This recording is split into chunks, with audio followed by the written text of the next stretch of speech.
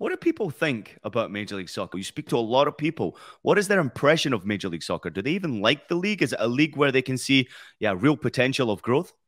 Honestly, mm, it has completely changed in the last two years, I would say three, four years ago, it was like retirement league. Okay, it's just about the money and nothing else. Personal life is not about football. Now it's different. Now the feeling is different.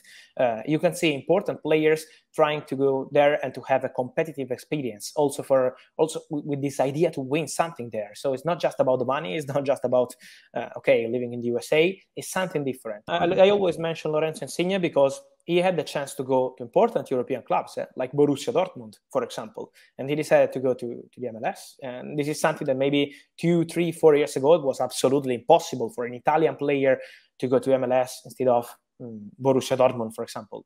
And he's not 37 or 36, so it has completely changed.